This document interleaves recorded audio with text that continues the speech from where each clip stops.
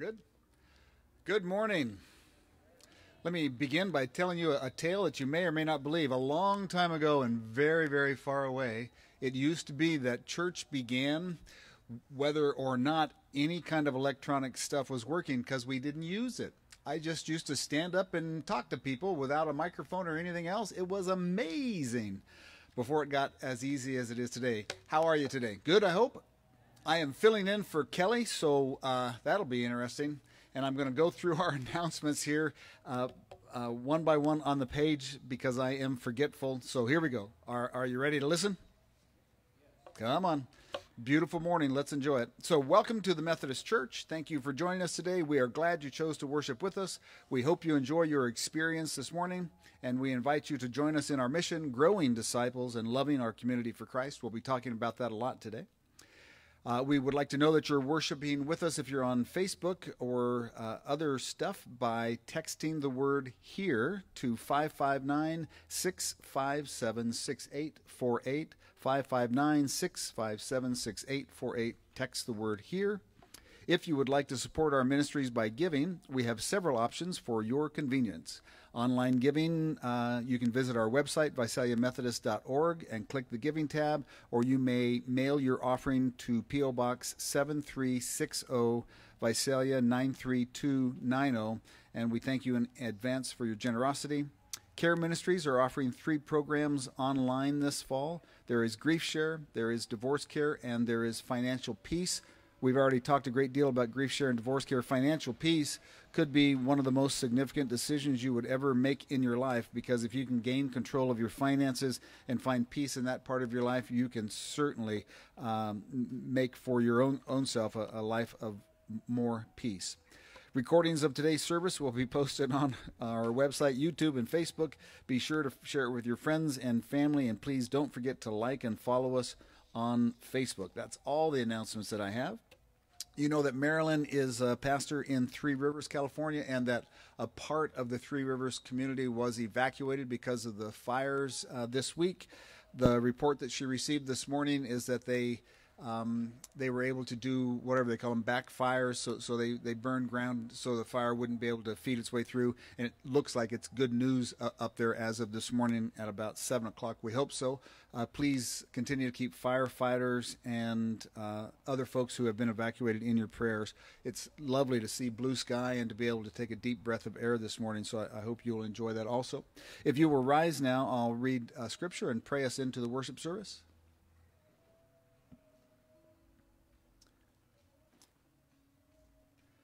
This is from Psalm 46, the first section of that psalm. God is our refuge and strength, and ever present help in trouble. Therefore, we will not fear, though the earth give way and the mountains fall into the heart of the sea, though its waters roar and foam and the mountains quake with their surging. May the Lord add blessing to the reading of Scripture. Will you bow your heads for a, a word of opening prayer? Father, we give uh, thanks to you for this beautiful day and, and for good company to keep the day with. We ask that you would bless us during this worship service that we might feel the nudge of your Holy Spirit as we listen to Scripture and think together about how to apply it to our lives. We lift up for your blessing those who are affected by the fires, either because they're in the way of the fire or because they are fighting it or their loved ones are. And we ask that in uh, every instance that folks might be able to feel your presence and your comfort as they continue uh, those battles. Bless the leaders who make decisions on what is best for our national forests and, and how to take care of uh, the areas that have, have burned and may burn in the future, that they can be wise in their considerations. We thank you for the gift of the community of church and our ability to gather together in your spirit this morning. And we ask that you truly would bless us that we might receive your word. It's in the name of your Son that we pray. Amen. Okay, please enjoy worship. Good morning, everybody. How are you all doing this morning? Blessed? Good? Praise be to God. Well, if you would like to stand, stand up. We're going to praise God this morning. If you like to stay seated, that's totally fine. But I want to ask you all this question Who here believes that they are a friend of God? Amen. So let's just give glory to God because we are his friends. Amen.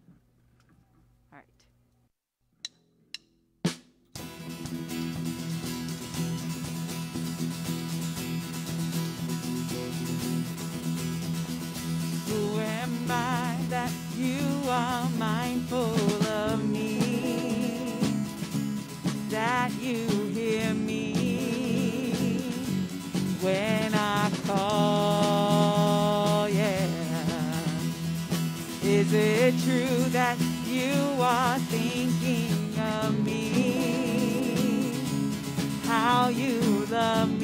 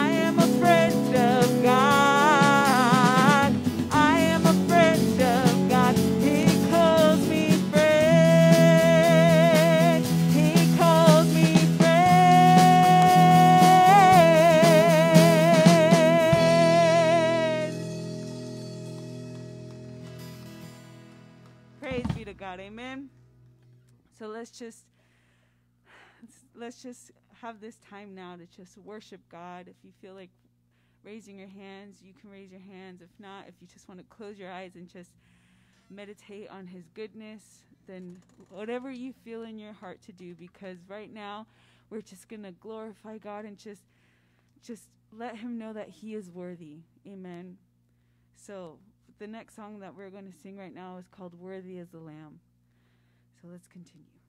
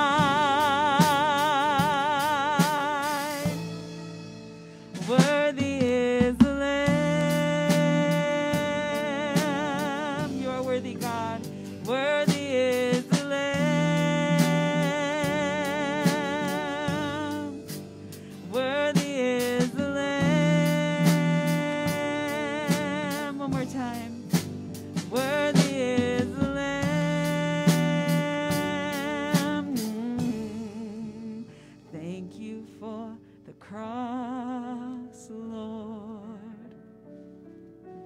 Thank you for the price you paid, bearing all my sin and shame. In love you came and gave.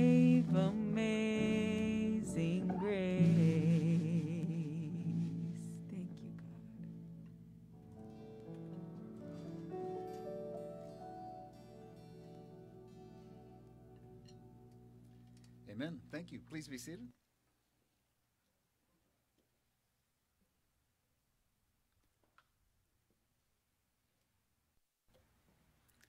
The original idea that I had many, many, many years ago was that we would use our garage as half place to park the car and half place to work the wood.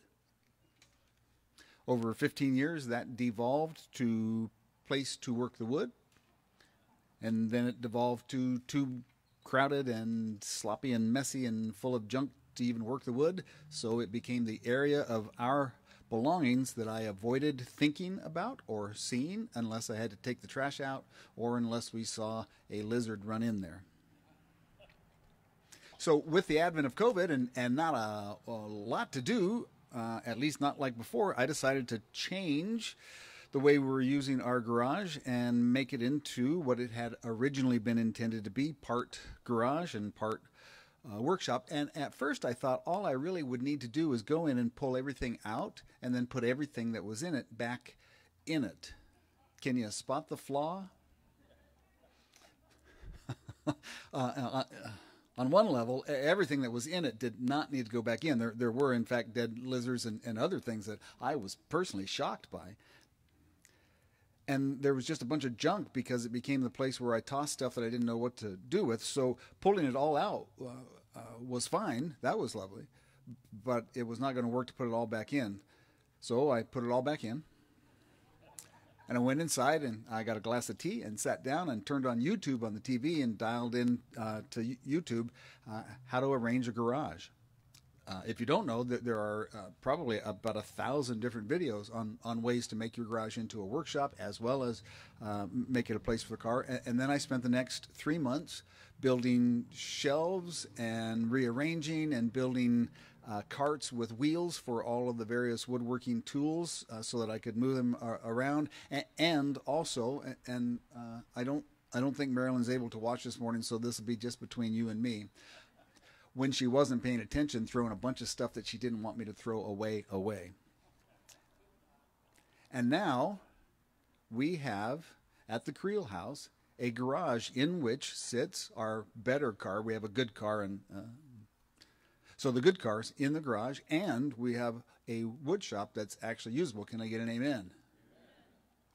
The moral of the story is you got to keep your eye on the prize and, and you got to go back to basics, right? If you get lost and confused and overcrowded and things aren't going well at all and you begin to feel hopeless, the best thing you can do instead of complaining bitterly or blaming somebody else is go back to the beginning and remember what it was you were going to do. So I want to say this as gently and lovingly and non judgmentally as possible. That comes to my mind because I've spent the week watching annual conference on uh, my computer. And it occurs to me, quite honestly, that on every level of the church, we have taken our eye off the prize and forgotten who it is uh, that we're supposed to be and what it is that we're supposed to do. And I'm not just casting stones at, at, our annual conference or the leadership thereof. I'm thinking about myself and I'm thinking about every church I've pastored. There is in the practice of the Christian faith always the temptation to get distracted from the core work of the faith and, and, devote yourself to things that are easier than the core work of the faith. It's easier to be popular, it's easier to be righteously indignant, it's easier to be angry and to demonize other people and consider them the enemies and have people feel good with you about that than it is to actually teach and try to live the gospel. So, in our own backyard here, I thought today maybe we would return to the basics and remember together what it is that we're supposed to be doing. Before I get to be a big shot and point fingers and, and be too critical of anybody else, uh, I want to examine our own selves and think about our church, our congregation, and our personal lives as we pursue, I, I hope we pursue, a life that is more and more Christ like as we grow in the faith. Uh, Matthew 23, 1 through 12 is the scripture that I have chosen. Uh, um, a lot of times I say everybody will have heard this, but you may not have heard this one. This is Jesus, and it's towards uh, the beginning of the end of uh, his ministry. And in this section of Matthew, he is instructing his disciples in how to be the leaders once he's gone. In other words, how to lead the church when it comes into existence. Jesus said to the crowds and to his disciples, The teachers of the law and the Pharisees sit in Moses' seat. So you must be careful to do everything that they tell you. But do not do what they do, for they do not practice what they preach. They tie up heavy, cumbersome loads and put them on people's shoulders, but they themselves are not willing to lift a finger to move them. Everything they do is done for people to see. They make their phylacteries wide and their tassels on their garments long. They love the place of honor at banquets and the most important seats in the synagogues. They love to be greeted with respect in the marketplaces and to be called rabbi by other people. You are not to be called rabbi, for you have one teacher, and all of you are brothers. And do not call anyone on earth father, for you have one Father, and he is in heaven nor are you to be called instructors, for you have one instructor, the Messiah. The greatest among you will be your servant, for those who exalt themselves will be humbled, and those who humble themselves will in time be exalted. May the Lord add blessing to the reading of Scripture. So let's remember together how it is that faith actually transpires, how this process of becoming a Christian and then growing in uh, to what God has planned for us works for most people. As I kind of recount the, the steps or the stages uh, in a general way, I hope that you will revisit your own faith journey, that you remember uh, before you, you, really made a personal decision for Christ and, and what it's been like since, including some of the confusion that goes along with uh, trying to, to truly follow Christ.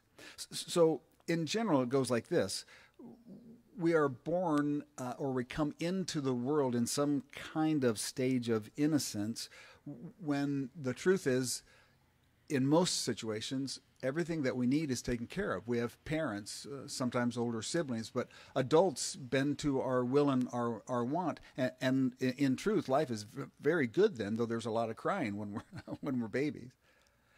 And as we grow that stage of innocence might last for some people a very long time. I've talked to people who are, are into their early 30s who I really believe are still in a basic state of innocence because they've not suffered any catastrophic loss and, and they haven't yet been humbled by their own mistakes or by the circumstances of life. They haven't been hard pressed yet.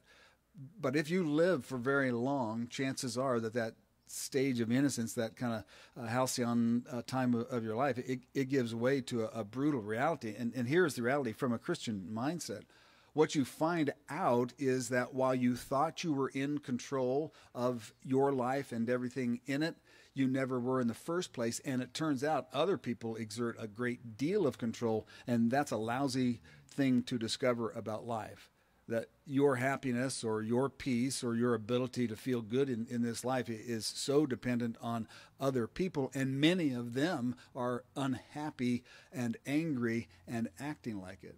Innocence gives way then to recognition of need. Now, it, it might be that other people are, are uh, taking away your innocence. It could also be and is in many cases, that you come to an age where you recognize the temptations of the world and, you give in to them. So you chase peace or contentment or whatever it is that you would fill in the blank with through uh, chemicals or through uh, sex or, or through gambling or through success or through whatever it might be, anything but giving your life to Christ and giving your life to other folks. All of those things at some point in everyone's life conspire to bring us to a point when we recognize, even if only for an instant, that we need a power that is beyond ourselves in the biblical story of the son who runs away and squanders his inheritance, the phrase they use is he, he came to himself. There in, in the uh, stalls where the pigs were slopped and, and, and fed, he came to himself and realized he had to have his father's help. And, and that does happen. It happens in everyone's life. Whether or not they become a Christian after that moment all of us at some point will stand at the precipice uh, of our own power and our own ability to, to forge our lives, and, and we will realize that we are impotent in the face uh, of what has happened or is happening. Some people double down and they increase their previous actions or their previous uh, mindsets, or they withdraw deeply inside themselves and, and they become angry shells uh, uh, of what they could have been uh, because they they play the blame game and think other people are the trouble. Other folks in that moment fundamentally reach out to God and say, "Help! I got to have some help." And, and what they mean is, right now, right here in the ICU. I need some help here before the test is revealed, here before I have to go meet my boss, here before whatever it is, right? But before this thing breaks loose and, I lose everything that I've had, I need help, instantaneous help.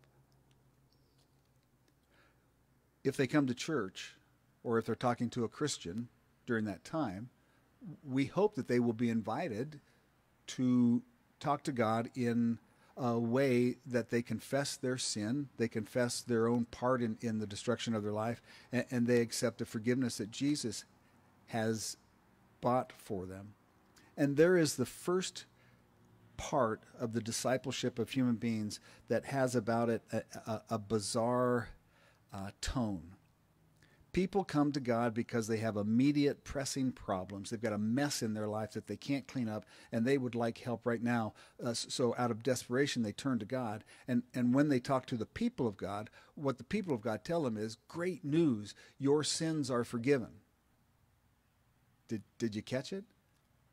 They never asked for their sins to be forgiven, they asked God to take care of their problems. So, the very first major step in your discipleship, in your walk of faith, is to recognize that God, as revealed in Scripture and, and uh, as uh, exhibited by the power of the Holy Spirit through generations, understands that the biggest problem you have is not your current circumstance. It, it isn't whatever mess you find yourself in this time uh, that causes you to turn to God your biggest problem is you've been carrying around a load of uh, debt and sin and pain and anger and anguish, and you need to be relieved of that before anything can change. It is the truth that God is very frequently more interested in changing the whole lot of our lives than intervening in any singular situation. At that point, when people figure out, what? I, I asked for uh, mom to come through the surgery and she passed a, a, away. Uh, right? So God didn't answer my prayer, and, and, the church or the church people are telling me my sins are forgiven. That makes no sense to me.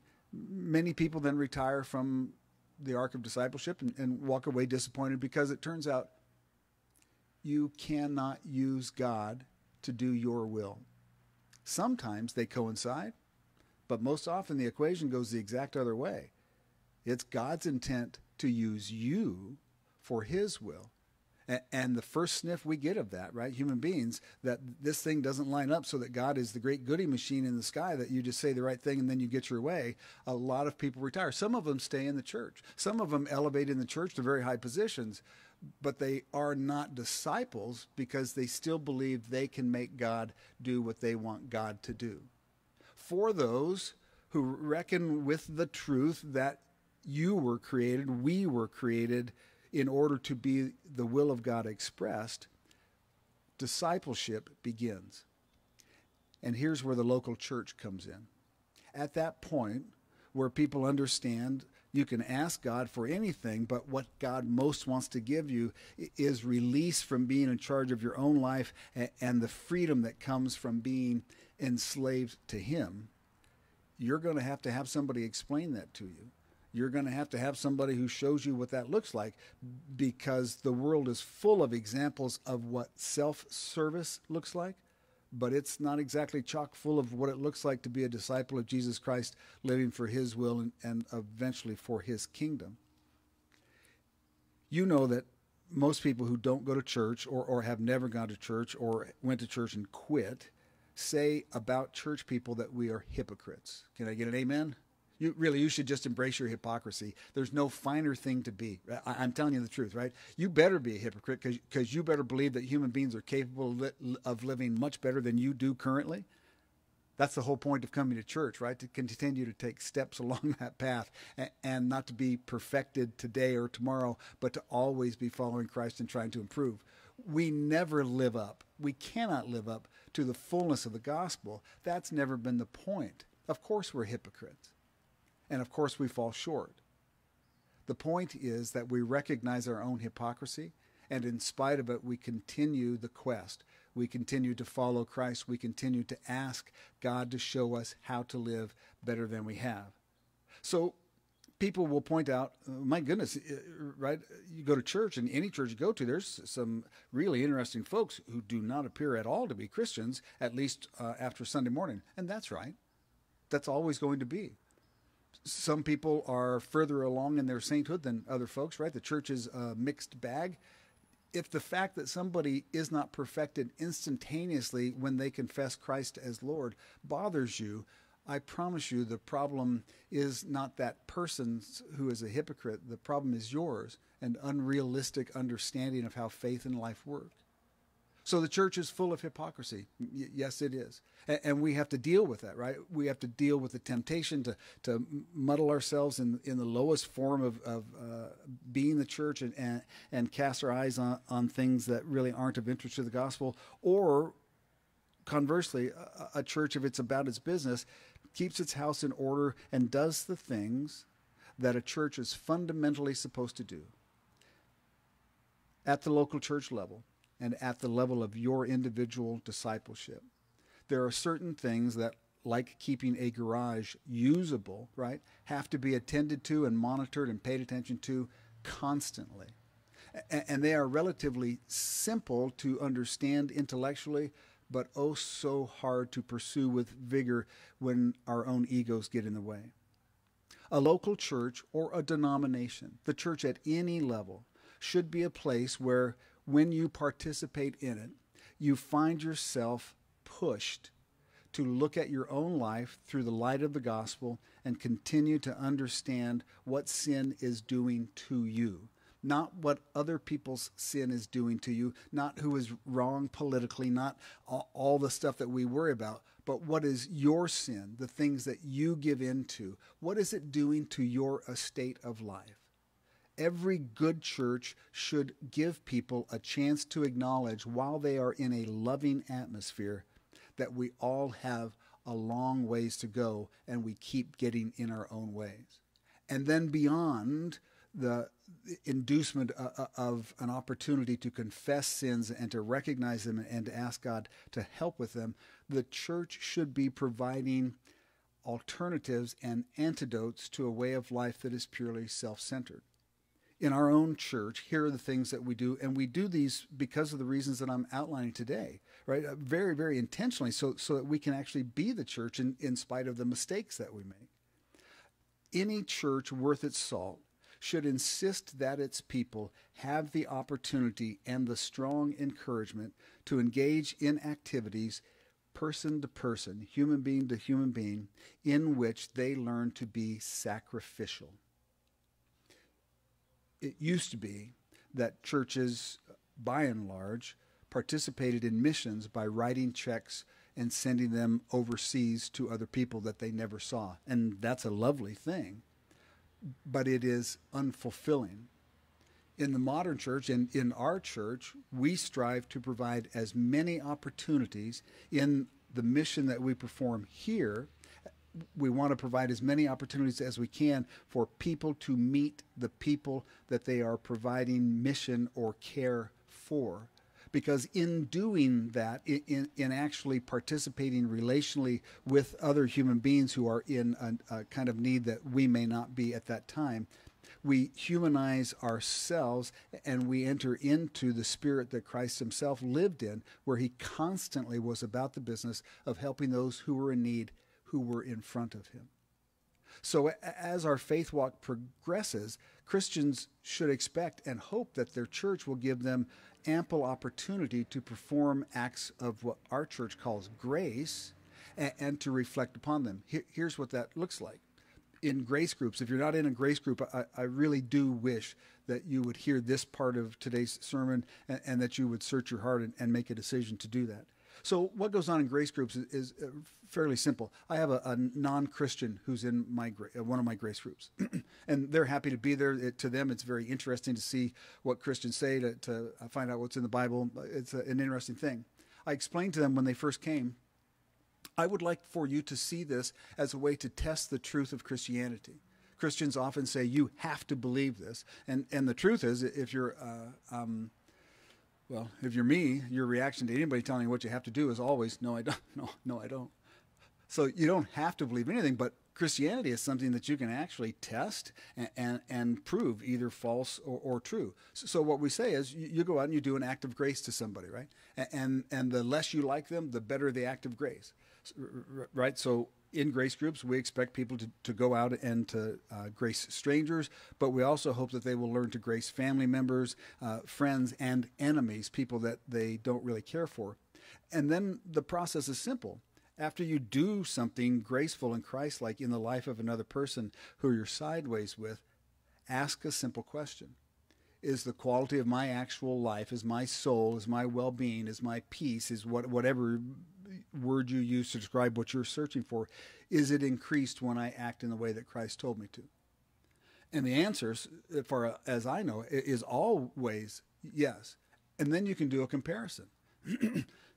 and I'm sorry we don't really have to set this up for you. Uh, you you've already done the opposite, right? You've already treated somebody very, very badly. Let them ha- have uh, the force of your anger or your judgment. And if you can remember the times you've done that and compare them to the times that you've been a humble servant of Christ, which one is the truth? And which one brings you to the place that you most want to be? It's a simple thing. And a church that has its eye on the prize, it has its mind set that is actually being the church and is intentional about that, had ought to be giving their people the opportunity to do that test, to make those comparisons, and to see the truth of the gospel applied in their lives over and over and over again, because that is the way that you grow. Really, it is the way that you grow. You can listen to high level uh, lectures and sermons on the nuances of theology. Uh, you can be made to laugh or to cry at the whim of the speaker if they're any good. You can have all kinds of emotions and thoughts as you sit in church week after week. But you can't have a full experience of Jesus Christ until you are put in a place where you're expected to act in the way Jesus told you to act, even in very dire circumstances. The truth is, a lot of the church has fallen prey to intellectualism, devoid and divorced almost completely from any kind of action, to the point where I would say the majority of Christians not only don't forgive, don't know how to forgive, and have no interest in forgiving other than the idea that they've been forgiven themselves. When that happens, when that happens in your life, when it happens in the life of a congregation, what happens is the place might fill up it might be chock full of people and, and all kinds of events. You could have dances, you could have parties, you could have concerts, you could have all kinds of stuff. But none of it is producing what the church was built to produce, which is a change in the spirit and in the action of people's lives. So, we do grace groups. We do food giveaways and, and local mission of many kinds in the hopes that people here will take advantage uh, and, and understand that those things are opportunities for you to grow deeply in your faith life. And we want that because when you grow deeper in your life of faith, and your life conspires to bring you to the edge of the pit again where things are going horribly wrong and you're not getting what you want and you're just afraid of what might be coming, if you have been discipled and living in the faith, those things have less power than they used to have.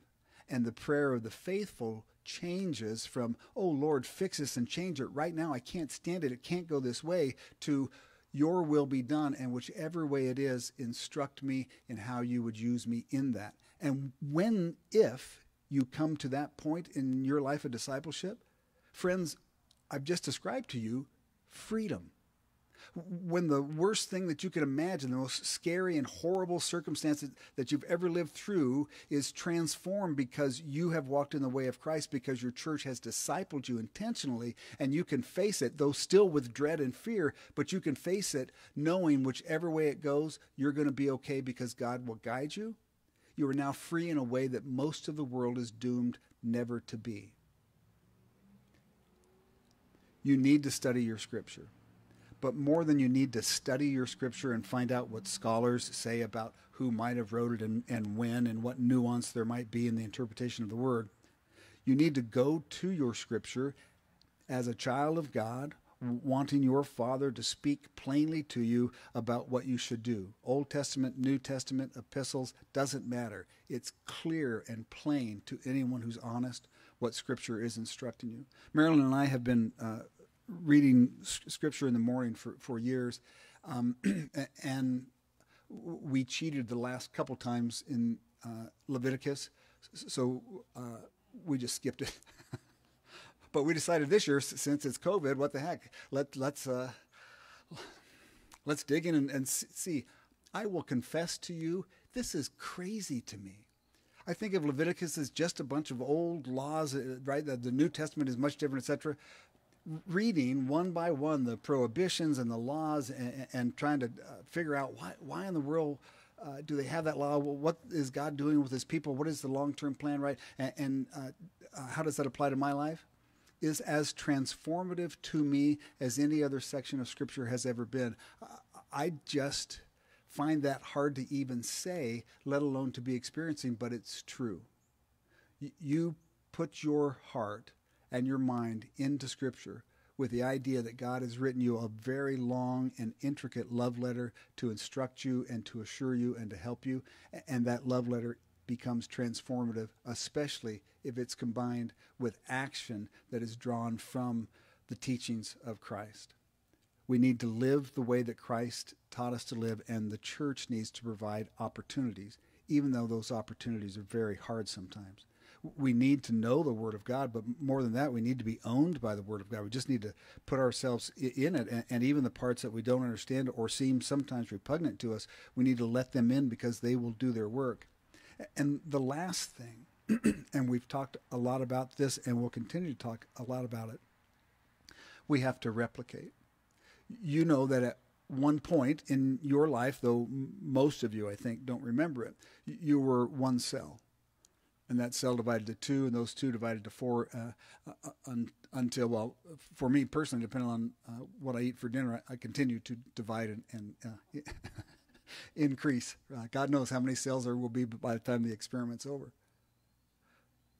That's the nature of all life, and that is the nature of life in the Spirit.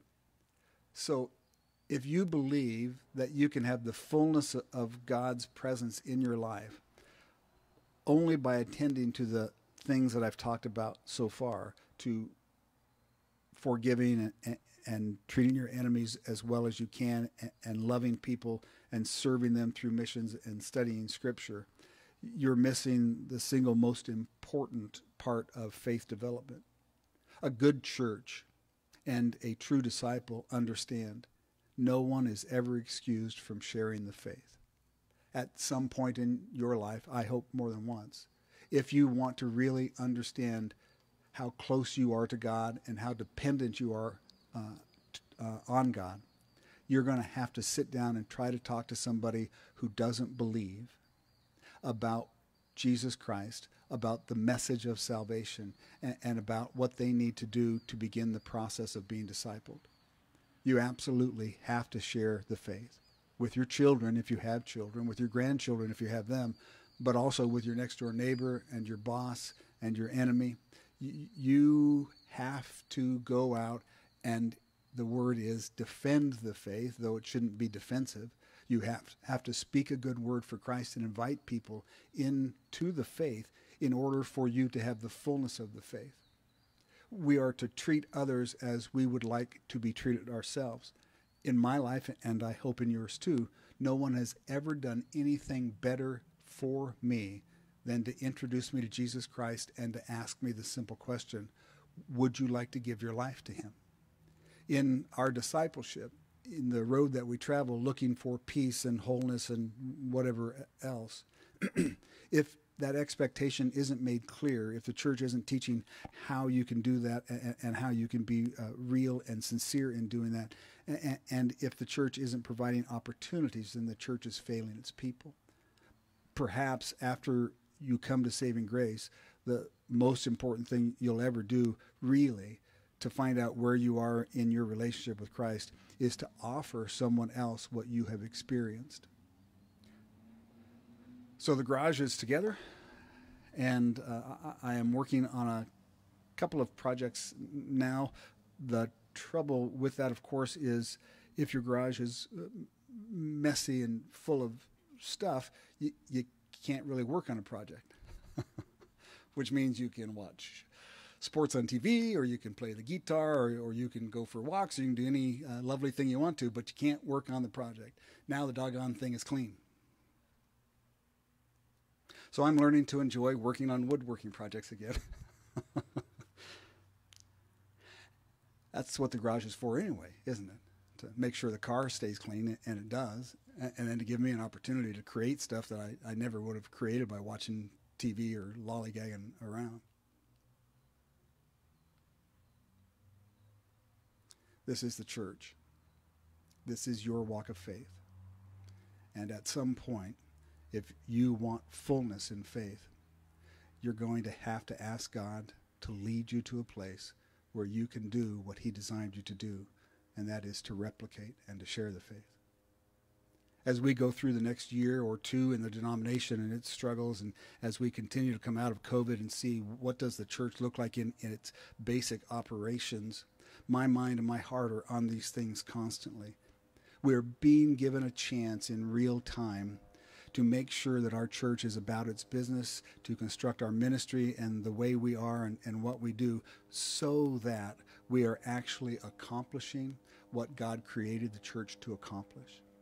I am delighted to be in those endeavors with you, and, and I pray that you will join me in a full focus on everything that's important. I want to see if he's going to dip his wing.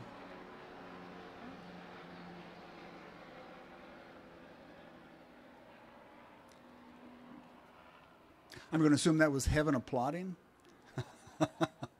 so, friends, it's good to, to be with you again. We're going to continue to talk uh, uh, about all of those areas and continue to strive in the decisions we make at the local level to, to be as, as good a church as it's possible to be because we want people to experience the fullness of what God has to offer them. Amen.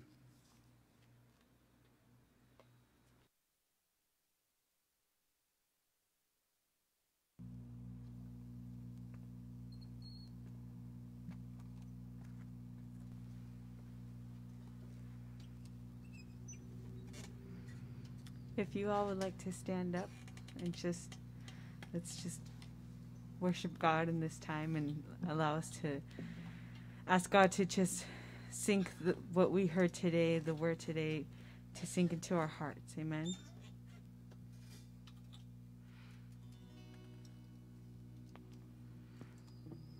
You unravel me with a melody you surround me with a song of deliverance from my enemies till all my fears are gone. I'm no longer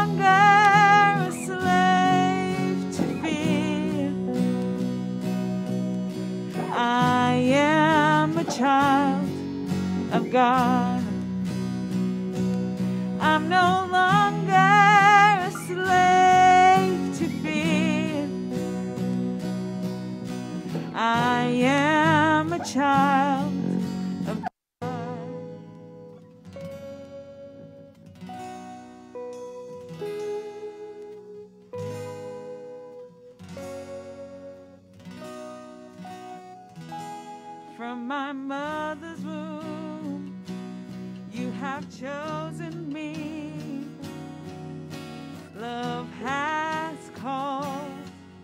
My name. I've been born again into your family. Your blood flows through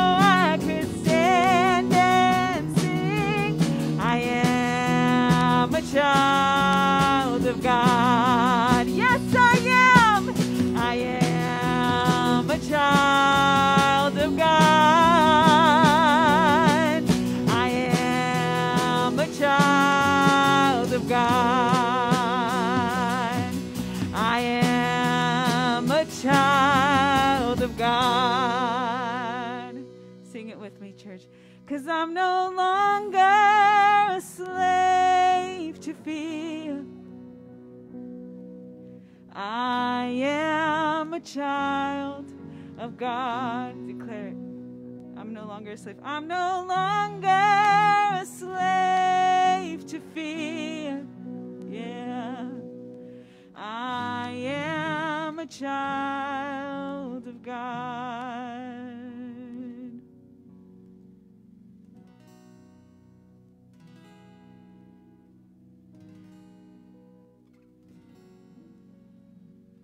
Will you bow your heads for a word of prayer? Father, we give thanks for the gift of Jesus Christ for all that He's done through the Holy Spirit to bring us into better relationship with you. We thank you for our church and for the leaders of our church. We ask that you would bless us in our individual lives, that this week, as we uh, go about our living, that we might do so in a way that more and more is pleasing to you. Bless us in that way and allow us the privilege of being a blessing in this community. In Christ's name, amen.